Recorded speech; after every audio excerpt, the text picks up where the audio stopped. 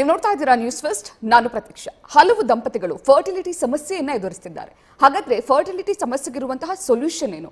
ಈ ಫರ್ಟಿಲಿಟಿ ಸಮಸ್ಯೆ ಕೇವಲ ಹೆಣ್ಮಕ್ಕಳಲ್ಲಿ ಮಾತ್ರ ಕಾಣಿಸ್ಕೊಳ್ಳುವಂತಹ ಸಮಸ್ಯೆನ? ಮೆಂಟಲ್ ಸ್ಟ್ರೆಸ್ ಇದ್ರ ಮೇಲೆ ಪರಿಣಾಮ ಬೀರುತ್ತಾ? ಇದೆಲ್ಲದರ ಬಗ್ಗೆ ಇವತ್ತಿನ ಕಾರ್ಯಕ್ರಮದಲ್ಲಿ ನಿಮಗೆ ತಿಳಿಸ್ಕೊಡ್ತಾ ಹೋಗ್ತೀವಿ. ಇದೇ ಹೊತ್ತಿನ ವಿಶೇಷ ಹೆಲ್ತ್ ಸೆಂಟರ್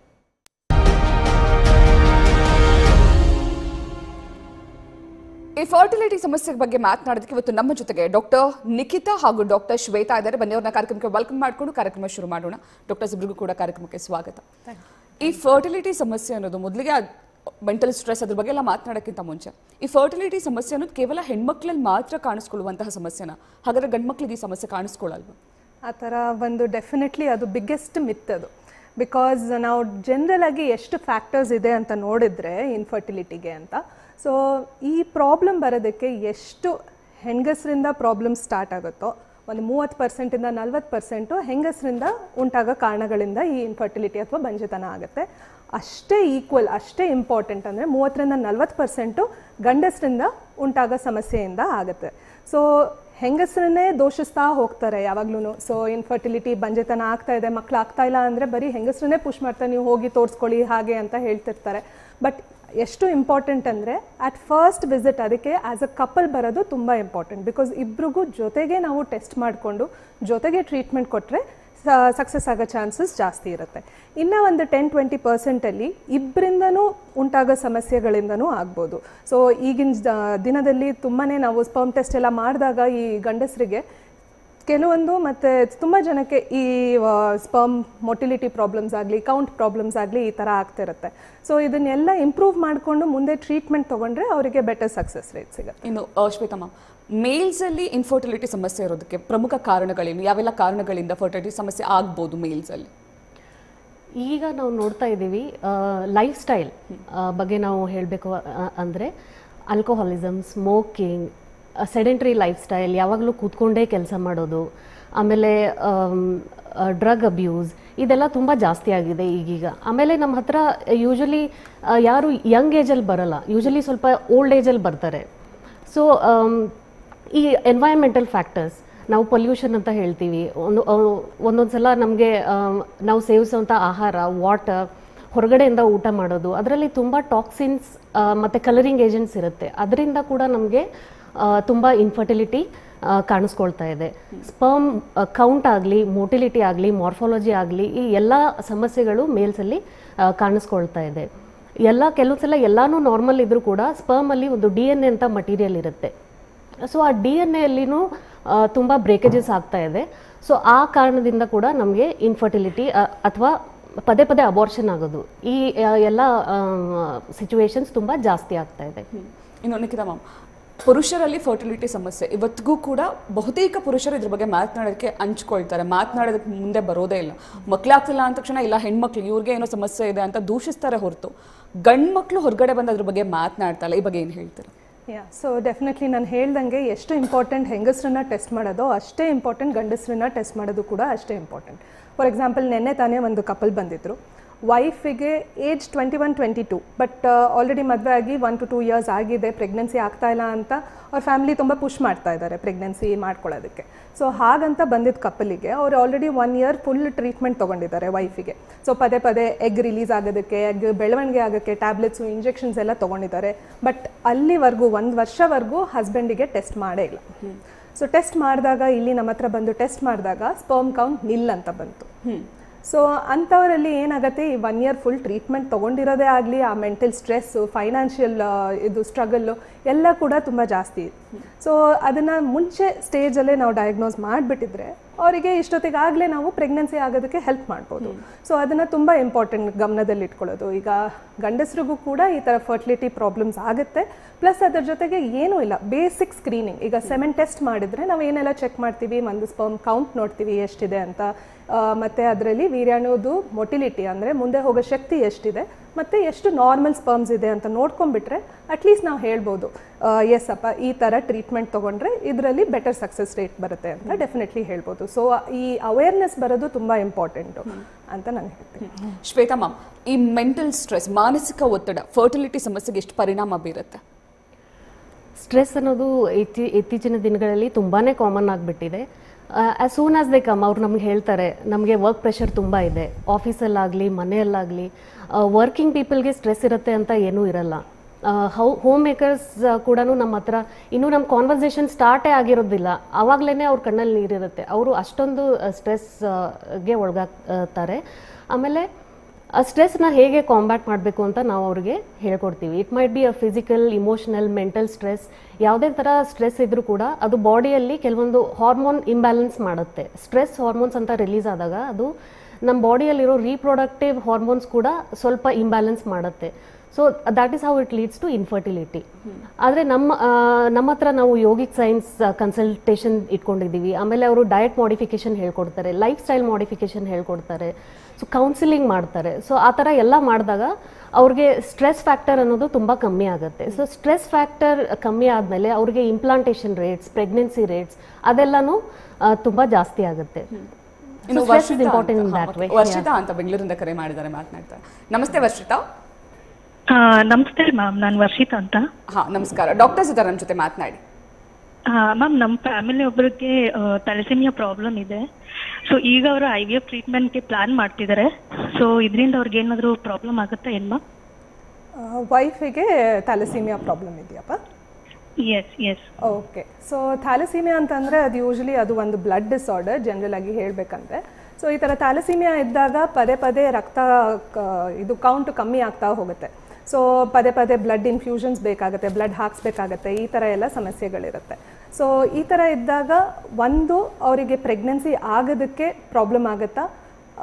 ಅವರು ಪ್ರೆಗ್ನೆನ್ಸಿಗಿಂತ ಮುಂಚೆ ರಕ್ತ ಲೆವೆಲ್ಸನ್ನು ಸರಿ ಮಾಡ್ಕೊಳ್ಳೋದು ತುಂಬಾ ಇಂಪಾರ್ಟೆಂಟ್ ಅದ್ರ ಜೊತೆಗೆ ಹಸ್ಬೆಂಡ್ದು ಕೂಡ ಅವರು ಈ ಸಮಸ್ಯೆಗೆ ಅವರು ಕ್ಯಾರಿಯರಲ್ಲ ಕ್ಯಾರಿಯರಾ ಇಲ್ವಾ ಅಂತ ಚೆಕ್ ಮಾಡ್ಕೊಳ್ಳೋದು ತುಂಬ ಇಂಪಾರ್ಟೆಂಟ್ ಬಿಕಾಸ್ ಇದು ನಾನು ಹೇಳ್ದಂಗೆ it is a blood disorder but it is a genetically problem so ಈ ಜೆನೆಟಿಕ್ ಪ್ರಾಬ್ಲಮ್ಮು ಮಗುಗೂ ಡೆವಲಪ್ ಆಗೋ ಚಾನ್ಸಸ್ ಇದೆಯಾ ಇಲ್ವೋ ಅಂತ ಕೂಡ ನೋಡ್ಕೋಬೋದು.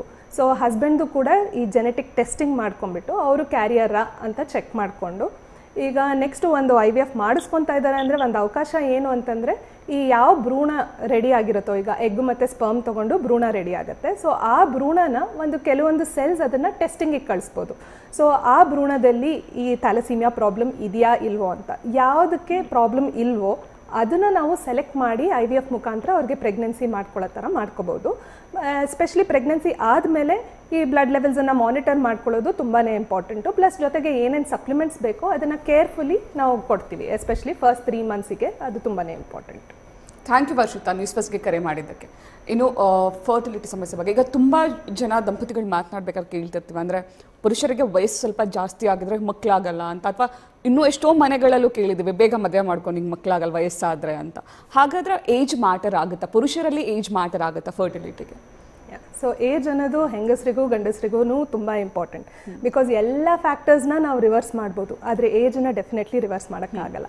ಸೊ ಆಲ್ರೆಡಿ ನಮ್ಮ ಹತ್ರ ಬಂದಾಗ, ಈಗ ಡಾಕ್ಟರ್ ಶ್ವೇತಾ ಹೇಳ್ದಂಗೆ ಆಲ್ರೆಡಿ ವಯಸ್ಸಾಗಿರುತ್ತೆ ಬಿಕಾಸ್ ಏನೋ ಒಂದು ಕಮಿಟ್ಮೆಂಟ್ಸ್ ಇಟ್ಕೊಂಡಿರ್ತಾರೆ. ಇದರ ಫೈನಾನ್ಷಿಯಲಿ ಆಗಲಿ ನನ್ನ ಕರಿಯರಲ್ಲಿ ಸೆಟಲ್ ಆಗಬೇಕು ಅಂತ ಆಗಲಿ, ಅಥವಾ ಸ್ವಲ್ಪ ವರ್ಷ ನೋಡೋಣ ಅಂತ ಕೂಡ ಪೋಸ್ಟ್ಪೋನ್ ಮಾಡ್ಕೊಂಡಿರ್ತಾರೆ ಆಲ್ರೆಡಿ ಸೊ ಆಲ್ರೆಡಿ ಫಸ್ಟ್ ನಮ್ಮ ಹತ್ರ ಬರೋಷ್ಟೊತ್ತಿಗೆ ಅವ್ರಿಗೆ ಹೆಂಗಸರಿಗೂ, ಗಂಡಸರಿಗೂ ಇಬ್ರಿಗೂ ವಯಸ್ಸಾಗಿರೋ ಕಪಲ್ಸ್ ಜಾಸ್ತಿ. ಸೊ ಏನಾಗುತ್ತೆ ಅಂದರೆ, ಈಗ ಹೆಂಗಸರಲ್ಲಿ ಏಜ್ ಆಗ್ತಾ ಆಗ್ತಾ ಮೊಟ್ಟೆ ಕೌಂಟು ಮತ್ತು ಕ್ವಾಲಿಟಿ ಕಮ್ಮಿ ಆಗ್ತಾ ಹೋಗುತ್ತೆ. ಗಂಡಸರಲ್ಲೂ ಕೂಡ ಏಜ್ ಆಗ್ತಾ ಆಗ್ತಾ especially after the age of thirty five forty ಈ ಸ್ಪರ್ಮಲ್ಲಿ ಅದೇ ಡಿ ಎನ್ ಎ ಅಂತ ಇರುತ್ತಲ್ಲ, ಅದರಲ್ಲಿ ಬ್ರೇಕೇಜಸ್ ಆಗೋ ಚಾನ್ಸಸ್ ಜಾಸ್ತಿ ಇರುತ್ತೆ. ಸೊ ಈ D F I D N A fragmentation index ಜಾಸ್ತಿ ಆಗೋ ಚಾನ್ಸಸ್ ಇರುತ್ತೆ. ಹಾಗೆ ಅದ್ರ ಜೊತೆಗೆ ಸ್ಪರ್ಮ್ ಕೌಂಟ್ ಮೊಟಿಲಿಟಿ ಕೂಡ ಕಮ್ಮಿ ಆಗೋ ಚಾನ್ಸಸ್ ಇರುತ್ತೆ. ಇದ್ರ ಜೊತೆಗೆ ಅವರು ಲೈಂಗಿಕ ಸಮಸ್ಯೆಗಳು ಜಾಸ್ತಿ ಆಗ್ತಾ ಹೋಗುತ್ತೆ. ಸೊ ಇದೆಲ್ಲನೂ ನಾವು ತಗೊಂಡಾಗ when we counsel them either I U I ಆಗಲಿ ಐ ವಿ ಎಫ್ ಆಗಲಿ ಅಂತ ಹೇಳಿದಾಗ ಐ ವಿ ಎಫ್ ಮಾಡೋಕ್ಕಿಂತ ಮುಂಚೆ ಈ ಡಿ ಎಫ್ ಐನ ಕಮ್ಮಿ ಮಾಡ್ಕೊಳ್ಳೋದು ತುಂಬಾ ಇಂಪಾರ್ಟೆಂಟು ಸೊ ಅದಕ್ಕೆ ಲೈಫ್ ಸ್ಟೈಲ್ ಕೂಡ ಇಂಪಾರ್ಟೆಂಟು ಮಾಡಿಫಿಕೇಷನ್ಸ್ ಮಾಡ್ಕೊಳ್ಳೋದು ಇಂಪಾರ್ಟೆಂಟು ಜೊತೆಗೆ ನಾವು ಆ್ಯಂಟಿ ಆಕ್ಸಿಡೆಂಟ್ಸ್ ಅಂತ ಮೆಡಿಸಿ ಮೆಡಿಕೇಷನ್ಸ್ ಕೊಡ್ತೀವಿ. ಸೊ ಇದು, ಆ ಸ್ಪರ್ಮಲ್ಲಿ ಇರೋ ಸ್ಟ್ರೆಸ್ ಲೆವೆಲ್ಸ್ನ ಕಮ್ಮಿ ಮಾಡ್ಕೊಳ್ಳುತ್ತೆ. ಸೊ ಆವಾಗ ಸ್ಪರ್ಮ್ ಕ್ವಾಲಿಟಿ ಇಂಪ್ರೂವ್ ಆಗುತ್ತೆ. ಸೊ ಇದನ್ನು at least one to two months ತೊಗೊಂಡು next I V F start ಮಾಡಿದಾಗ ಎಂಬ್ರಿಯೋ ಕ್ವಾಲಿಟಿ ಆಗಲಿ ಇಂಪ್ಲಾಂಟೇಷನ್ ರೇಟ್ಸ್ ಆಗಲಿ ಬೆಟರ್ ಆಗುತ್ತೆ. ಮತ್ತು ಸ್ಪೆಸಿಫಿಕ್ ಆಗಿ ಈ ಡಿ ಎಫ್ ಐ ಹೈ ಇದ್ದಾಗ ಗರ್ಭಗುಡಿಯಲ್ಲೂ ಕೂಡ ನಮ್ಮ ಹತ್ರ ಈ ಟೆಕ್ನಿಕ್ಸ್ ಇದೆ. ಮೈಕ್ರೋಫ್ಲೂಡಿಕ್ಸ್ ಅಂತ ಆಗಲಿ ಮ್ಯಾಕ್ಸ್ ಅಂತ ಆಗಲಿ ಡಿಫ್ರೆಂಟ್ ಸೆಲೆಕ್ಷನ್ ಟೆಕ್ನಿಕ್ಸ್ ಇದೆ. ಯಾವ ಸ್ಪರ್ಮ್ ಬೆಸ್ಟ್ ಇದೆಯೋ ಅದನ್ನು ನಾವು ಸೆಲೆಕ್ಟ್ ಮಾಡಿ, ಅದನ್ನು ಎಗ್ಗಿಗೆ ಇಂಜೆಕ್ಟ್ ಮಾಡಿದಾಗ ಬ್ರೇಕೇಜಸ್ ಇಲ್ಲದೆ ಇರೋ ಸ್ಪರ್ಮ್ ಸೆಲೆಕ್ಟ್ ಮಾಡಿದಾಗ ಇಂಪ್ಲಾಂಟೇಷನ್ ರೇಟ್ಸ್ ಬೆಟರ್ ಇರುತ್ತೆ. ಇನ್ನು ಶ್ವೇತಾ ಈ ಫರ್ಟಿಲಿಟಿ ಸಮಸ್ಯೆಗೆ ಕೇವಲ ಮೆಡಿಕೇಷನ್ಸ್ ಅಥವಾ ಟ್ರೀಟ್ಮೆಂಟ್ ಒಂದೇ ಸೊಲ್ಯೂಷನ್ಸ್ ಅಥವಾ ಫುಡ್ ಇಂಟೇಕ್ ಮಾಡಿದ್ರು. ಅಥವಾ ಪರ್ಟಿಕ್ಯುಲರ್ ಆಗಿ ಇದೇ ಆಹಾರ ಪದ್ಧತಿಯನ್ನು ಫಾಲೋ ಮಾಡಿದ್ರು ಕೂಡ ಈ ಸಮಸ್ಯೆ ಪರಿಹಾರ ಸಿಗುತ್ತೆ ಅನ್ನೋ ಥರ ಏನಾದರೂ ಇದೆಯಾ? ನಾವು ಡಯಟ್ ಅಂತ ತಗೊಂಡಾಗ ನಾವು ಯಾವುದು ನಾರ್ಮಲ್ ಡಯಟ್ ಅಂತ ಅದು ಎಲ್ರಿಗೂ ಗೊತ್ತು. ಬಟ್ ಅದು ಲೈಫ್ ಸ್ಟೈಲ್ ಏ ನಮ್ದು ಹಂಗೆ ಆಗೋಗಿದೆ. ನಾವು ವರ್ಕ್ಸ್ ವರ್ಕಲ್ಲಿ ತುಂಬ ಸ್ಟ್ರೆಸ್ಡ್ ಆಗಿರ್ತೀವಿ. ಅದಕ್ಕೋಸ್ಕರ ನಾವು ಜಂಕ್ ಫುಡ್ ಮಧ್ಯದಲ್ಲಿ ಏನೇನೋ ಸ್ವಲ್ಪ ಆ್ಯಡೆಡ್ ಶುಗರ್ಸ್ ಆ ಥರ ತುಂಬ ಜಾಸ್ತಿನೇ ತಗೋತೀವಿ.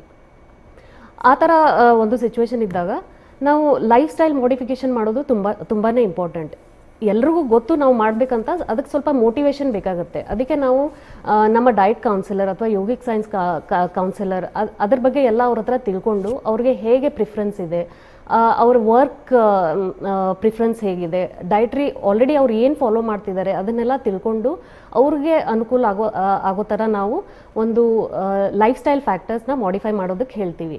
ಟ್ರೀಟ್ಮೆಂಟ್ ಪಾರ್ಟ್ ಎಲ್ಲ ನಾವು already we will take care but lifestyle ಅನ್ನೋದು it is completely dependent on the patient so ಅವ್ರ ಹತ್ರ ಜಾಸ್ತಿ ಮೋಟಿ ಮೋಟಿವೇಟೆಡ್ ಅವ್ರು ಏನಾದರೂ ಇದ್ದರೆ ಡೆಫಿನೆಟ್ಲಿ ಕಂಬೈನ್ಡ್ ರಿಸಲ್ಟ್ಸ್ ಯಾವಾಗ್ಲೂ ಬೆಟರ್ ಆಗಿರುತ್ತೆ ಅಂತ ಹೇಳಕ್ಕೆ ಇಷ್ಟಪಡ್ತೀನಿ. ಇನ್ನು ನಿಖಿತಮ್ಮ ಕನ್ಸೀವ್ ಆಗೋದಕ್ಕೆ ವೆಯ್ಟ್ ಕೂಡ ಮ್ಯಾಟರ್ ಆಗುತ್ತಾ? ಓವರ್ ವೆಯ್ಟ್ ಇದ್ರೆ ಕನ್ಸೀವ್ ಆಗೋ ಚಾನ್ಸಸ್ ಕಮ್ಮಿ ಇರುತ್ತಾ? ಹೇಗೆ? ಸೊ ಎಷ್ಟೊಂದು ಜನ ಕಪಲ್ಸ್ ಬರ್ತಾರೆ ಓವರ್ ವೆಯ್ಟ್ ಆಗಿರ್ತಾರೆ. ಅವ್ರು ಹೇಳ್ತಾರೆ ಅವ್ರ ಫ್ರೆಂಡೇ ಇದ್ದಾರೆ ಅವ್ರು ನೈಂಟಿ ಕೆ ಜಿ ಇದ್ರು ನೈಂಟಿ ಫೈವ್ ಕೆ ಜಿ ಇದ್ರು ಅಂದರೂ ಕನ್ಸೀವ್ ಆದರೂ ನಾರ್ಮಲ್ ಡೆಲಿವರಿ ಆಯಿತು ಅಂತ ಹೇಳ್ತಾರೆ. ನಮಗೆ ಯಾಕೆ ಜಸ್ಟ್ ವೆಯ್ಟ್ ಒಂದೇ ಪ್ರಾಬ್ಲಮ್ಮಾ ಅಂತ ಕೇಳ್ತಾರೆ. ಸೊ ಕೆಲವೊಂದು ಕಪಲ್ಸಲ್ಲಿ ಎಸ್ ಇಟ್ ಡೆಫಿನೆಟ್ಲಿ ಮ್ಯಾಟರ್ಸ್ ಈಗ ಹೆಂಗಸರು ವೇಟು ಮತ್ತು ಗಂಡಸರು ವೇಟ್ ಮೇಲ್ ಪಾರ್ಟ್ನ ಫೀಮೇಲ್ ಪಾರ್ಟ್ನ ವೇಟ್ ತುಂಬಾ ಇಂಪಾರ್ಟೆಂಟು ವೆಯ್ಟ್ಗಿಂತ ಜಾಸ್ತಿ ನಾವು ಕನ್ಸಿಡರ್ ಮಾಡೋದು ಬಿ ಎಂ ಐ ಅಂತ ಹೇಳ್ತೀವಿ. So body mass index so ಆ ಹೈಟಿಗೆ ಅವ್ರ ಹೈಟಿಗೆ ವೇಟ್ ಎಷ್ಟಿರಬೇಕು ಅನ್ನೋದನ್ನು ಕ್ಯಾಲ್ಕುಲೇಟ್ ಮಾಡ್ತೀವಿ. ಸೊ ಇದನ್ನು ಕ್ಯಾಲ್ಕುಲೇಟ್ ಮಾಡಿದಾಗ more than twenty five more than thirty ಇದ್ದಾಗ ಇದು ತುಂಬಾ ಅಫೆಕ್ಟ್ ಆಗುತ್ತೆ. ಈಗ ಹೆಂಗಸರಲ್ಲಿ ಹೇಗೆ ಅಫೆಕ್ಟ್ ಆಗುತ್ತೆ? ವೇಟ್ ಜಾಸ್ತಿ ಇದ್ದಾಗ ಹಾರ್ಮೋನಲ್ ಇಂಬ್ಯಾಲೆನ್ಸಸ್ ತುಂಬ ಜಾಸ್ತಿ ಆಗುತ್ತೆ ಬಿಕಾಸ್ ಫ್ಯಾಟ್ ಜಾಸ್ತಿ ಇದ್ದಾಗ ಅಲ್ಲಿ ಪೆರಿಫೆರಿ ಅಂದರೆ ಫ್ಯಾಟಲ್ಲಿ ಕನ್ವರ್ಷನ್ ಆಗುತ್ತೆ ಈ ಹಾರ್ಮೋನ್ಸ್ ಎಲ್ಲ. ಸೊ ಆವಾಗ especially P C O S thyroid ಇದ್ದಾಗ ಏನಾಗುತ್ತೆ ಅಂದರೆ ಅವ್ರಿಗೆ ವೇಟ್ ರೆಡ್ಯೂಸ್ ಮಾಡ್ಕೊಳ್ಳೋದಕ್ಕೂ ಅಷ್ಟೇ ಕಷ್ಟ ಆಗ್ತಾ ಇರುತ್ತೆ. ಸೊ ಅಟ್ಲೀಸ್ಟ್ ನಾವು ಟಾರ್ಗೆಟ್ ಮಾಡೋದು five to ten percent weight loss ಈಗ ಅರೌಂಡ್ ನೈಂಟಿ ಕೆ ಜಿಸ್ ಇತ್ತು ಅಂದರೆ at least five to ten K Gs ಅವರು ಕ್ರಮೇಣ ಅದನ್ನು ಕಮ್ಮಿ ಮಾಡ್ಕೊತ ಹೋದರೆ ಡೆಫಿನೆಟ್ಲಿ ಅವ್ರಿಗೆ ಎಗ್ ಕ್ವಾಲಿಟಿ ಬೆಟರ್ ಇರುತ್ತೆ ಪ್ಲಸ್ ಡ್ಯೂರಿಂಗ್ ಇಂಪ್ಲಾಂಟೇಷನ್ ಆ ಟೈಮಲ್ಲಿ ವೇಟ್ ಅನ್ನೋದು ತುಂಬಾ ಇಂಪಾರ್ಟೆಂಟು ಅದಾದಮೇಲೆ ಏನಾಗುತ್ತೆ ಕನ್ಸೀವ್ ಆದಮೇಲೂ ಕೂಡ ಅಬೋರ್ಷನ್ ಆಗೋ ಚಾನ್ಸಸ್ ಕಮ್ಮಿ ಇರುತ್ತೆ. ವೇಟ್ ರೆಗ್ಯುಲರೈಸ್ ಮಾಡಿಕೊಂಡ್ರೆ. ಪ್ಲಸ್ ಅದರ ಜೊತೆಗೆ ಪ್ರೆಗ್ನೆನ್ಸಿ ಟೈಮಲ್ಲಿ ಈಗ ನಮಗೆ ಬರೀ beta H C G positive ಬರೋದು ಪ್ರೆಗ್ನೆನ್ಸಿ ಪಾಸಿಟಿವ್ ಬರೋದು ಅಷ್ಟೇ ಅಲ್ಲ. ನೈನ್ ಮಂತ್ಸ್ ಆದಮೇಲೂ ಕೂಡ ಆ ಮಗು ಏನಿರುತ್ತೆ, ಮತ್ತು ತಾಯಿ ಏನಿರುತ್ತೆ. ಇಬ್ರಿಗೂ ಕೂಡ ಹೆಲ್ತ್ ನಾರ್ಮಲ್ ಆಗಿರಬೇಕು. ಈಗ ಶುಗರ್ ಬರೋ ಚಾನ್ಸಸ್ ಆಗಲಿ ಬಿ ಪಿ ಬರೋ ಚಾನ್ಸಸ್ ಆಗಲಿ, ಇದೆಲ್ಲ ಓವರ್ ವೇಟ್ ಇದ್ದಾಗ ಜಾಸ್ತಿ. ಹಾಗೆ ಗಂಡಸರಲ್ಲೂ ಕೂಡ ಈ ಸ್ಪರ್ಮ್ ಪ್ರಾಬ್ಲಮ್ಸ್ ಬರೋದು ಓವರ್ ವೇಟ್ ಇದ್ದಾಗ. ಪ್ಲಸ್ ಯಾಕಂದರೆ ಆ ಜಾಗದಲ್ಲಿ ಹೀಟ್ ಜಾಸ್ತಿ ಆಗ್ತಾ ಹೋಗುತ್ತೆ ವೇಟ್ ಓವರ್ ವೇಟ್ ಇದ್ದಾಗ. ಸೊ ಆ ಹೀಟಿಂದ ಸ್ಪರ್ಮ್ ಪ್ರೊಡಕ್ಷನ್ ಕಮ್ಮಿ ಆಗುತ್ತೆ, ಹಾಗೆ ಅದರ ಕ್ವಾಲಿಟಿ ಕಮ್ಮಿ ಆಗುತ್ತೆ. ಸೊ ಈ ವೇಟ್ ಅನ್ನೋದನ್ನು ಒಂದೇ ನಾವು especially with proper diet proper physical exercise ಇದನ್ನು ಕಮ್ಮಿ ಮಾಡ್ಕೊಂತು ಅಂದರೆ ಹೇಳ್ದಂಗೆ ಈಗ ಎರಡು ಕೈ ಸೇರಿದ್ರೇ ಚಪ್ಪಾಳೆ. ಸೊ ನಮ್ಮ ಕಡೆಯಿಂದ ಎಸ್ ನಾವು ಟ್ರೀಟ್ಮೆಂಟಿಗೆ ಏನೇನು ಬೇಕೋ ಮೆಡಿಕೇಶನ್ ವೈಸ್ ಎಲ್ಲ ಕೂಡ ಮಾಡಿರ್ತಿರ್ತೀವಿ. ಪ್ಲಸ್ ಅದ್ರ ಜೊತೆಗೆ ಕಪಲ್ಸ್ ಅವ್ರ ಕಡೆಯಿಂದ ಎಫರ್ಟ್ ಹಾಕಿದಾಗ ಜೊತೆಗೆ ಸೇರಿ ಈ ಸಕ್ಸಸ್ ರೇಟ್ಸ್ನ ನಾವು ಡೆಫಿನೆಟ್ಲಿ ಇಂಪ್ರೂವ್ ಮಾಡ್ತೀವಿ ಎಸ್ ಡಾಕ್ಟರ್ ನಿಮ್ಮ ಹತ್ರ ಮತ್ತಷ್ಟು ಮಾತನಾಡ್ತೀನಿ. ವೀಕ್ಷಕರ ಹೆಲ್ತ್ ಸೆಂಟರ್ ನೇರ ಪ್ರಸಾರ ಕಾರ್ಯಕ್ರಮ ಮುಂದುವರಿಯುತ್ತೆ. ಬ್ರೇಕ್ ಆದ್ಮೇಲೆ.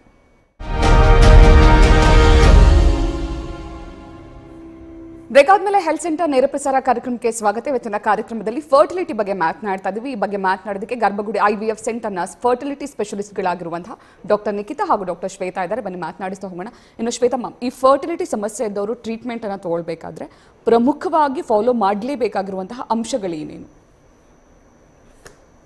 ನಾವು ಯಾವುದೇ ಒಂದು ಬಂದಾಗ ನಾವು ಆಲ್ವೇಸ್ ಇಬ್ಬರನ್ನೂ ಕರಿತೀವಿ. So that is a most important thing ಜನ ಅರ್ಥ ಮಾಡ್ಕೋಬೇಕು. ಯಾಕಂದರೆ ಫಿಫ್ಟಿ ಪರ್ಸೆಂಟ್ ಕೆಲವೊಂದು ಸಲ ಫೀಮೇಲ್ ಫ್ಯಾಕ್ಟರ್ ಇರುತ್ತೆ ಫಿಫ್ಟಿ ಪರ್ಸೆಂಟ್ ಮೇಲ್ ಫ್ಯಾಕ್ಟರು ಕೂಡ ಇರುತ್ತೆ. So first and foremost thing ಏನು ನಾವು ಅಡ್ವೈಸ್ ಮಾಡ್ತೀವಿ ಅಂದರೆ ವೈಫ್ ಮತ್ತು ಹಸ್ಬೆಂಡ್ ಇಬ್ಬರು ನಮ್ಮ ಹತ್ರ ಒಟ್ಟಿಗೆ ಬರಬೇಕು. ಸೊ ಆಮೇಲೆ ಒಂದು ಬೇಸ್ ಲೈನ್ ಟೆಸ್ಟ್ ಅಂತ ನಾವು ಮಾಡ್ತೀವಿ. ಅವ್ರ ಜನರಲ್ ಕಂಡೀಷನ್ ಹೇಗಿದೆ, ಅವ್ರ ಹೆಲ್ತ್ ಹೇಗಿದೆ ಅಂತ ಎಲ್ಲ ತಿಳ್ಕೊತೀವಿ. ಸೊ ಆಮೇಲೆ ನಾವು ಅವ್ರನ್ನ ಡೀಟೇಲ್ ಆಗಿ ಅವ್ರಿಗೆ ಮೊಟ್ಟೆ ಸಂಖ್ಯೆ ಎಷ್ಟಿದೆ, ಅವ್ರಿಗೆ ಸೆಮೆನ್ ಅನಾಲಿಸಿಸ್ ಹೇಗಿದೆ, ವೀರ್ಯಾಣು ಪರೀಕ್ಷೆ ಮಾಡ್ತೀವಿ. ಎಲ್ಲನೂ ಹೇಗಿದೆ ಅಂತ ನೋಡಿಕೊಂಡು ನಾವೊಂದು ಟ್ರೀಟ್ಮೆಂಟ್ ಫಾರ್ಮುಲೇಷನ್ ಮಾಡ್ತೀವಿ. ಸೊ ಅದಕ್ಕೆ ತಕ್ಕ ಹಾಗೆ ಅವರು ಟ್ರೀಟ್ಮೆಂಟ್ ತೊಗೊಂಡಾಗ ತೊಗೊಂಡಾಗ ಅವ್ರಿಗೆ ಡೆಫಿನೆಟ್ಲಿ ಸಕ್ಸಸ್ ರೇಟ್ ಜಾಸ್ತಿ ಆಗುತ್ತೆ. ಮತ್ತು ಟ್ರೀಟ್ಮೆಂಟ್ ಪಾರ್ಟ್ನ ನಾವು ಹೇಳ್ಕೊಡ್ಬೋದು. ಬಟ್ ಕೆಲವೊಂದು ಸಲ ನಾವು ಲೈಫ್ ಸ್ಟೈಲ್ ಮಾಡಿಫಿಕೇಷನ್ ಅವ್ರಿಗೆ ಮಾಡಬೇಕಾಗತ್ತೆ. ಅವರ ಡೈಟ್ರಿ ಹ್ಯಾಬಿಟ್ಸು ಅವರ ವೇಟ್ ಎಷ್ಟಿದೆ, ಅದನ್ನೆಲ್ಲ ನೋಡಿಕೊಂಡು ನಾವು ಆಮೇಲೆ stress levels as I mention before ಇದನ್ನೆಲ್ಲನೂ ನಾವು ಕರೆಕ್ಟ್ ಮಾಡ್ಕೊಂಡಾಗ ಕಂಬೈನ್ಡ್ ಎಫರ್ಟ್ ಹಾಕಿದಾಗ ನಮಗೆ success rates I U I ಆಗಿರಲಿ ಐ ವಿ ಎಫ್ ಆಗಿರಲಿ, ಯಾವುದೇ ಥರ ಟ್ರೀಟ್ಮೆಂಟ್ ಅವ್ರು ತೊಗೊಂಡಿದ್ರು ಅವ್ರಿಗೆ ಸಕ್ಸಸ್ ರೇಟ್ ಜಾಸ್ತಿ ಸಿಗುತ್ತೆ. ಮತ್ತು ನಮಗೆ age is a most important factor ನಾವು ತುಂಬ ಸಲ ಪದೇ ಪದೇ ಹೇಳ್ತಾ ಇರ್ತೀವಿ ಏಜ್ ವೈಫ್ಗಾಗಲಿ ಹಸ್ಬೆಂಡ್ಗಾಗಲಿ ಇಬ್ರಿಗೂ ಕೂಡ ತುಂಬ ಇಂಪಾರ್ಟೆಂಟ್ ನೀವು ಯಾವುದೇ ಟ್ರೀಟ್ಮೆಂಟ್ ತೊಗೋಬೇಕಾದ್ರೂ ನೀವು ಸ್ವಲ್ಪ ಬೇಗ, ಅಂದರೆ ಯಂಗ್ ಏಜಲ್ಲೇ ಮಾಡಿ ಬಂದುಬಿಟ್ಟು ಮಾಡಿಸ್ಕೊಂಡ್ರೆ ಅದರ ಸಕ್ಸಸ್ ರೇಟ್ ತುಂಬಾ ಜಾಸ್ತಿ ಇರುತ್ತೆ ಅಂತ ಹೇಳ್ಬೋದು. ಇನ್ನು ಮಮ್ಮಿಗೆ ಅವ್ರು ಮೆನ್ಷನ್ ಮಾಡಿದಾಗೆ ಸಕ್ಸಸ್ ರೇಟ್ ಬಗ್ಗೆ ಮಾತನಾಡೋದಾದ್ರೆ ಈಗ ಫರ್ಟಿಲಿಟಿ ಸಮಸ್ಯೆ ಬಹುತೇಕರಲ್ಲಿರುತ್ತೆ. ಸೊ ಯಾರೇ ಬಂದು ಟ್ರೀಟ್ಮೆಂಟ್ ತೊಗೊಂಡ್ರು ಕೂಡ ಸಕ್ಸಸ್ಫುಲ್ ಆಗುತ್ತಾ? ಸಕ್ಸಸ್ ರೇಟ್ ಎಷ್ಟಿದೆ ಫರ್ಟಿಲಿಟಿ ಟ್ರೀಟ್ಮೆಂಟ್ ಸೊ ನ್ಯಾಚುರಲ್ ಆಗಿ ನಾವು ಕನ್ಸೀವ್ ಆಗಬೇಕು ಅಂತ ನೋಡಿದಾಗ around success rate per cycle ಒಂದು ಸೈಕಲ್ ಅಂತ ತಗೊಂಡಾಗ ಅಟ್ಲೀಸ್ಟ್ ಒಂದು ಫೈವ್ ಟು ಟೆನ್ ಪರ್ಸೆಂಟ್ ಇರುತ್ತೆ. So I U I L ಅಂತಂದರೆ ಅದನ್ನು ಮ್ಯಾಕ್ಸಿಮಮ್ ನಾವು ಫಿಫ್ಟೀನ್ ಟು ಟ್ವೆಂಟಿ ಪರ್ಸೆಂಟ್ವರೆಗೂ ನಾವು ಇನ್ಕ್ರೀಸ್ ಮಾಡ್ಬೋದು. ಅದನ್ನೇ at least I U I maximum ನಾವು three to four times try ಮಾಡಿದಾಗ up to twenty five percent ನಾವು ಅದನ್ನು ತೊಗೊಂಬರ್ಬೋದು. In case of I V F ಈಗ ಇಂಟರ್ನ್ಯಾಷನಲಿ ಎಲ್ಲೇ ಜಗತ್ತಲ್ಲಿ ನೋಡಿದ್ರು success rates around fifty to sixty percents ಇರುತ್ತೆ one time I V F ಅಥವಾ ಒನ್ ಟೈಮ್ ಎಂಬ್ರಿಯೋ ಟ್ರಾನ್ಸ್ಫರ್ ಮಾಡೋದಕ್ಕೆ. ಸೊ ಇನ್ ಗರ್ಭಗುಡಿ ಅದನ್ನು ಅಟ್ಲೀಸ್ಟ್ ನಾವು ನೋಡ್ತಾ ಇರೋದು ಜನರಲ್ ಆಗಿ ನಾವು ಪ್ರತಿ ತಿಂಗಳು ಅದನ್ನು ಕ್ಯಾಲ್ಕುಲೇಟ್ ಮಾಡ್ಕೊತ ಬರ್ತೀವಿ. Around sixty to seventy percent ಇದೆ. ಸೊ ಈ ಥರ ಹೇಳಿದಾಗ ಒಂದು ಮೂರು ದಂಪತಿ ಅಂತ ತಗೊಂಡಾಗ ಅಟ್ಲೀಸ್ಟ್ ಇಬ್ಬರು ದಂಪತಿಗೆ ಫಸ್ಟ್ ಚಾನ್ಸಲ್ಲೇ ಸಕ್ಸಸ್ ಆಗೋ ಚಾನ್ಸಸ್ ಜಾಸ್ತಿ ಇರುತ್ತೆ. ಬಟ್ ಎಲ್ಲದಕ್ಕಿಂತ ಜಾಸ್ತಿ, ಹೇಗೆ ನಾವು ಇದನ್ನು ಫಸ್ಟ್ ಚಾನ್ಸಲ್ಲೇ ಸಕ್ಸಸ್ ಮಾಡ್ಕೋಬೋದು ಅಂದರೆ, ಈಗ ಡಾಕ್ಟರ್ ಶ್ವೇತಾ ಹೇಳ್ದಂಗೆ most important is taking the right treatment at the right time okay so age ಅನ್ನೋದು ಅಷ್ಟೇ ಮುಖ್ಯ ಅಂತ ನಾನು ಅದನ್ನೇ ಮಾತಾಡ್ತಾ ಇದ್ವಿ. ಸೊ ಎಸ್ಪೆಷಲಿ ಪ್ರೆಗ್ನೆನ್ಸಿ ಆಗ್ತಾ ಇಲ್ಲ ಅಂದಾಗ ಒನ್ ಇಯರ್ವರೆಗೂ ಕಾಯ್ದು, ಅದಾದಮೇಲೆ ಪ್ರೆಗ್ನೆನ್ಸಿ ಆಗ್ತಾ ಇಲ್ಲ ಅಂತ ಡಾಕ್ಟರ್ ಹತ್ರ ಬಂದು ತೋರಿಸ್ಕೊಳ್ಳೋದು ತುಂಬ ಇಂಪಾರ್ಟೆಂಟ್ ಅದೇ ಹೆಂಗಸರು ವಯಸ್ಸು ಮೂವತ್ತೈದು ಮೇಲಿದ್ದಾಗ, ಒಂದು ವರ್ಷ ತನಕ ಕಾಯೋದು ಬೇಡ. ಆರು ತಿಂಗಳಿಗೆ ಅಕಸ್ಮಾತ್ ಪ್ರೆಗ್ನೆನ್ಸಿ ಆಗ್ತಾ ಇಲ್ಲ ಅಂದರೆ ಬಂದು ತೋರಿಸ್ಕೊಳ್ಳೋದು ಅಷ್ಟೇ ಇಂಪಾರ್ಟೆಂಟು ಇನ್ನು ಹೆಂಗಸರು ವಯಸ್ಸು ನಲ್ವತ್ತು ಮೇಲಿದ್ದಾಗ ಸೊ ಆ್ಯಸ್ ಸೂನ್ ಆಸ್ ಅವ್ರ ಪ್ರೆಗ್ನೆನ್ಸಿ ಯಾವಾಗ ಪ್ಲ್ಯಾನ್ ಮಾಡ್ತಿರ್ತಾರೋ ಆವಾಗ ಬಂದು ತೋರಿಸ್ಕೊಳ್ಳೋದು ತುಂಬ ಇಂಪಾರ್ಟೆಂಟ್ ಬಿಕಾಸ್ ಆ ಟೈಮಲ್ಲಿ ಈಗ ಒಂದು ಕಪಲಿಗೆ ಇವತ್ತು ನಾವು ಹೇಳಿದ್ದೀವಿ ಐ ವಿ ಎಫ್ ಮಾಡಿಸ್ಬೇಕಾಗತ್ತೆ ಅಂತ. ಅವ್ರು ಎಷ್ಟೊಂದು ಫ್ಯಾಕ್ಟರ್ಸ್ನ ಮನಸ್ಸಲ್ಲಿ ಇಟ್ಕೊಂಡು maybe one year two years ಅದನ್ನು ಪುಷ್ ಮಾಡ್ಕೊತ ಹೋಗ್ತಾರೆ. ಆ ಟೈಮಲ್ಲಿ ನಾವು ಇವತ್ತಿನ ದಿನ ಅವ್ರಿಗೆ ಏನು ಸಕ್ಸಸ್ ರೇಟ್ ಕೊಡ್ಬೋ, ಕೊಡ್ಬೋದು, ಅದನ್ನು ಆಫ್ಟರ್ ಟೂ ತ್ರೀ ಇಯರ್ಸ್ ನಾವು ಕೊಡೋದು ಅಷ್ಟೇ ಕಷ್ಟ ಆಗುತ್ತೆ. ಬಿಕಾಸ್ ಹೇಳ್ದಂಗೆ ಎಗ್ ಕೌಂಟು ಮತ್ತು ಕ್ವಾಲಿಟಿ ಕಮ್ಮಿ ಆಗ್ತಾ ಇರುತ್ತೆ, ಬೇರೆ ಎಲ್ಲ ಪ್ರಾಬ್ಲಮ್ ಸ್ಟಾರ್ಟ್ ಆಗ್ತಿರುತ್ತೆ, ಮತ್ತು ಏಜ್ ಆದಮೇಲೂ ಕೂಡ ಪ್ರೆಗ್ನೆನ್ಸಿ ಕ್ಯಾರಿ ಮಾಡೋದು it is slightly risky so ಏನಂತಂದರೆ ನಲ್ವತ್ತು ವಯಸ್ಸು, ನಲ್ವತ್ತು ವೈ ಐದು ವಯಸ್ಸು ಮೇಲಿದ್ದಾಗ ಈ ಇಂಪ್ಲಾಂಟೇಷನ್ ಆಗೋ ರೇಟ್ಸು ಅಂದರೆ ಭ್ರೂಣ ಅಂಟ್ಕೊಳ್ಳೋ ಚಾನ್ಸಸ್ಸು ಮತ್ತು ಅಬಾರ್ಷನ್ ಆಗೋ ಚಾನ್ಸಸ್ಸು ಅದೆಲ್ಲ ಕೂಡ ಅದು ರಿಸ್ಕಿ ಆಗ್ತಾ ಹೋಗುತ್ತೆ. ಸೊ ಆದಷ್ಟು ಬೇಗ ಪ್ರೆಗ್ನೆನ್ಸಿನ ಪ್ಲ್ಯಾನ್ ಮಾಡಿಕೊಂಡು, ಇಲ್ಲ ಅಂತಂದರೆ ಇವಾಗ ನಮ್ಮ ಹತ್ರ ತುಂಬ ಆಪ್ಷನ್ಸ್ ಇದೆ. ಈಗ ಸದ್ಯಕ್ಕೆ ಅವ್ರಿಗೆ ಪ್ರೆಗ್ನೆನ್ಸಿ ಬೇಕಿಲ್ಲ ಅಂದಾಗ ಏನು ಮಾಡ್ಕೋಬೋದು ಈಗ ಫೀಮೇಲ್ ಪಾರ್ಟ್ನರ್ ಒಬ್ಬರೇ ಇತ್ತು ಅಂದರೆ ಅವರನ್ನು ಮೊಟ್ಟೆಗಳನ್ನು ಫ್ರೀಸ್ ಮಾಡಿ ಇಟ್ಕೊಂಡು after five years after ten years ಅವ್ರು ಯಾವಾಗ ಪ್ರೆಗ್ನೆನ್ಸಿ ಪ್ಲ್ಯಾನ್ ಮಾಡ್ತಿರ್ತಾರೋ ಆವಾಗ ಈ ಪ್ರೆಗ್ನೆನ್ಸಿನ ಪಡ್ಕೋಬೋದು ಇದಕ್ಕೆ ನಾವು ಎಗ್ ಫ್ರೀಸಿಂಗ್ ಅಂತ ಹೇಳ್ತೀವಿ. ಅಥವಾ ದಂಪತಿ ಅಂದಾಗ ಅವರು ಇದೇ ಥರ ಮಾಡಿಕೊಂಡು ಭ್ರೂಣನ ಫ್ರೀಸ್ ಮಾಡಿ ಇಟ್ಕೋಬೋದು. ಸೊ ನೆಕ್ಸ್ಟ್ ಫ್ಯೂಚರ್ಗೆ ಬಂದು ಬರೀ ಎಂಬ್ರಿಯೋ ಟ್ರಾನ್ಸ್ಫರ್ ಮಾಡಿಕೊಂಡು ಹೋಗೋದಿರತ್ತಷ್ಟೇ. ಸೊ ಆ ಥರ ಇದ್ದಾಗ ಆ, ಈ ಮಗುವಲ್ಲಿ ಜೆನೆಟಿಕ್ ಪ್ರಾಬ್ಲಮ್ಸ್ ಆಗಲಿ ಅದು ಕೂಡ ಎಲ್ಲ ಕಮ್ಮಿ ಆಗುತ್ತೆ. ಬಿಕಾಸ್ ಎಗ್ಗು ಮತ್ತು ಸ್ಪರ್ಮು ಆಲ್ರೆಡಿ ಅದು ಕಮ್ಮಿ ವಯಸ್ಸಿಂದ ಫ್ರೀಸ್ ಆಗಿರೋದಿರುತ್ತೆ. ಸೊ ಈ ಥರ ಎಲ್ಲ ರೈಟ್ ಟ್ರೀಟ್ಮೆಂಟ್ ಅಥವಾ ರೈಟ್ ಟೈಮ್ ತೊಗೊಳ್ಳೋದು ತುಂಬಾ ಇಂಪಾರ್ಟೆಂಟ್ ಎಸ್ ಮಧು ಅಂತ ಬೆಂಗಳೂರಿಂದ ಕಲೆ ಕರೆ ಮಾಡಿದ್ದಾರೆ. ಶ್ವೇತಾ ಮ್ಯಾಮ್ ನಿಮ್ಮ ಜೊತೆ ಮಾತನಾಡ್ತಾರೆ. ನಮಸ್ಕಾರ ಮಧು. ನಮಸ್ತೆ ಡಾಕ್ಟರ್. ಡಾಕ್ಟರ್ ನನ್ನ ಗರ್ಭಕೋಶ ಸಣ್ಣದಾಗಿದೆ ಅಂತ ಹೇಳಿದ್ದಾರೆ. ಸೊ ಈ ರೀತಿ ಇದ್ದಾಗ ನ್ಯಾಚುರಲ್ ಆಗಿ ಪ್ರೆಗ್ನೆಂಟ್ ಆಗ್ಲಿಕ್ಕೆ ಸಾಧ್ಯತೆಗಳೇನು? ಮತ್ತೆ ಯಾವ ರೀತಿ ಚಿಕಿತ್ಸೆಗೆ ಅಂದ್ರೆ ಚಿಕಿತ್ಸೆ ತಗೋಬೇಕಾಗುತ್ತೆ ma'am thank you for the question ಇವಾಗ ನಿಮಗೆ ಗರ್ಭಕೋಶ ಚಿಕ್ಕದಿದೆ ಅಂತ ಹೇಳಿದ್ದಾರೆ. ಬಟ್ ನಾವು ಅದನ್ನು ಡೀಟೇಲ್ ಆಗಿ ಇವ್ಯಾಲ್ಯೂಯೇಟ್ ಮಾಡಬೇಕು. ಫಸ್ಟ್ ಅದು ಯಾ, ಯಾವ ರೀಸನ್ಗೋಸ್ಕರ ಅದು ಚಿಕ್ಕದಿದೆ ಅಂತ ನಾವು ತಿಳ್ಕೊಬೇಕು. ಆಮೇಲೆ ನಾವು ಕೆಲವೊಂದು ಎಕ್ಸ್ಟೆಂಡೆಡ್ ಟೆಸ್ಟ್ ಮಾಡ್ತೀವಿ. ಡೀಟೇಲ್ ಆಗಿ ಇವ್ಯಾಲ್ಯೂಯೇಟ್ ಮಾಡಿ. ಏನಾದರೂ ವರ್ಣತಂತಿಗಳಲ್ಲಿ, ಅಂದರೆ ಕ್ರೋಮೋಸೋಮ್ಸ್ ಅಂತ ನಾವೇನು ಹೇಳ್ತೀವೋ, ಅದರಲ್ಲಿ ಏನಾದರೂ ಪ್ರಾಬ್ಲಮ್ ಇದೆಯಾ? ಅಥವಾ ಬೇರೆ ಏನಾದರೂ ಜನರಲ್ ಕಂಡೀಷನಲ್ಲಿ ಏನಾದರೂ ಪ್ರಾಬ್ಲಮ್ ಇದೆಯಾ? ಅದನ್ನೆಲ್ಲ ನಾವು ಡೀಟೇಲ್ ಆಗಿ ಇವ್ಯಾಲ್ಯೂಯೇಟ್ ಮಾಡ್ತೀವಿ. ಇವ್ಯಾಲ್ಯೂಯೇಟ್ ಮಾಡಿದ್ಮೇಲೆ ಇದೆಲ್ಲ ಫ್ಯಾಕ್ಟರ್ಸ್ ನಮಗೆ ನಾರ್ಮಲ್ ಆಗಿ ಕಂಡ್ರೆ ಗರ್ಭಕೋಶ ಎಷ್ಟು ಚಿಕ್ಕದಿದೆ, ಅದು, ಅದರ ಬೇಸಿಸ್ ಮೇಲೆ ನಾವು ಎಕ್ಸ್ಟರ್ನಲಿ ಹಾರ್ಮೋನ್ಸ್ ಅಂತ ಕೊಡ್ತೀವಿ. ಗರ್ಭಕೋಶ ಏನಕ್ಕೆ ಚಿಕ್ಕದಿರುತ್ತೆ ಅಂದರೆ ಯೂಶಲಿ ಹಾರ್ಮೋನ್ಸ್ಗಳ ಕೊರತೆ ಇರುತ್ತೆ, ಅದಕ್ಕೆ ಚಿಕ್ಕದಾಗಿರುತ್ತೆ. ನಾವು ಎಕ್ಸ್ಟರ್ನಲಿ ಆ ಹಾರ್ಮೋನ್ಸ್ನ ಸಪ್ಲಿಮೆಂಟ್ ಮಾಡಿದಾಗ ಗರ್ಭಕೋಶದ ಸೈಜು ಇನ್ಕ್ರೀಸ್ ಆಗುತ್ತೆ. ಅದನ್ನ ಮೇಂಟೈನ್ ಮಾಡೋದಕ್ಕೆ ಕೂಡ ನಾವು ಹಾರ್ಮೋನ್ಸ್ಗಳನ್ನು ಕಂಟಿನ್ಯೂ ಆಗಿ ಇಟ್ಟಿರ್ತೀವಿ. ಸೊ ಯಾವಾಗ ನಮಗೆ ಬೇಕಾದ ಸೈಜಲ್ಲಿ ಯುಟ್ರಸ್ ದೊಡ್ಡದಾಗತ್ತೋ ಆವಾಗ ನಾವು ಎಂಬ್ರಿಯೋ ಟ್ರಾನ್ಸ್ಫರ್ ಮಾಡ್ಬೋದು. ನ್ಯಾಚುರಲಿ ಕನ್ಸೀವ್ ಆಗೋದಕ್ಕೆ ನಿಮ್ಮ ಎಗ್ ಕೌಂಟ್ ಹೇಗಿದೆ ಓವರೀಸಲ್ಲಿ ಫಂಕ್ಷನ್ ಹೇಗಿದೆ, ಮತ್ತು ಟ್ಯೂಬಲ್ ಫಂಕ್ಷನ್ ಹೇಗಿದೆ, ಅದನ್ನೆಲ್ಲ ನೋಡಿಕೊಂಡು ಗರ್ಭಕೋಶದ ಸೈಜು ಇನ್ಕ್ರೀಸ್ ಮಾಡಿದ್ರೆ ಕೆಲವೊಂದು ಸಲ ನ್ಯಾಚುರಲಿನೂ ಆಗುತ್ತೆ ಬಟ್ ಐ ವಿ ಎಫ್ ಮಾಡಿ ಈ ಥರ ಗರ್ಭಕೋಶ ಚಿಕ್ಕದಿರೋರು ಐ ವಿ ಎಫ್ ಮಾಡಿ ಎಂಬ್ರಿಯೋ ಟ್ರಾನ್ಸ್ಫರ್ ಆದಮೇಲೆ ತುಂಬ ಜನ ಪ್ರೆಗ್ನೆಂಟ್ ಕೂಡ ಆಗಿದ್ದಾರೆ, ಅವ್ರಿಗೆ ಚೆನ್ನಾಗಿ ಡೆಲಿವರಿ ಕೂಡ ಆಗಿದೆ. ಥ್ಯಾಂಕ್ ಯು ಕರೆ ಮಾಡಿದ್ದಕ್ಕೆ.